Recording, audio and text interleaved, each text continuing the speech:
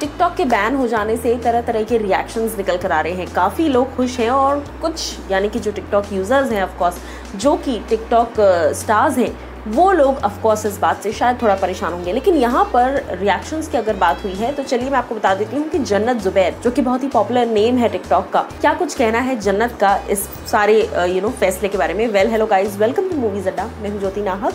अगर बात की जाए जन्नत जुबैर की तो उन्होंने हाल ही में उनसे जब पूछा गया टिकटॉक के यू नो बैनिंग के बारे में तो उन्होंने साफ़ साफ़ इस बात को कह दिया कि मैं बहुत ही ज़्यादा सपोर्ट करती हूँ हमारी गवर्नमेंट को, क्योंकि जिस रीज़न से ये हुआ है ऑफकोर्स एक सर्जिकल स्ट्राइक तो नहीं, लेकिन एक डिजिटल स्ट्राइक ज़रूर किया है हमारी कंट्री ने चाइना पर, और चाइनीज़ हर ऐप को बैन करने की ज़रूरत है। सो कहीं ना कहीं अगर टिकटॉक बैन हुआ है तो मैं अपने देश का सपोर्ट करती हूँ, मैं देशवासियों का सपोर्ट करती हूँ, और मैं हमारी गवर्नमेंट के इस डिसीज़न के साथ साथ पूरी तरीके से सहमत हूँ। तो ये तो जनरल जुबैर ने अपनी बात रख दी उसके साथ साथ तमाम टिकटॉक स्टार्स जो है, वो भी शायद इस बात से सहमत होंगे क्योंकि जहाँ बात देश की आती है, उससे आगे कुछ भी नहीं।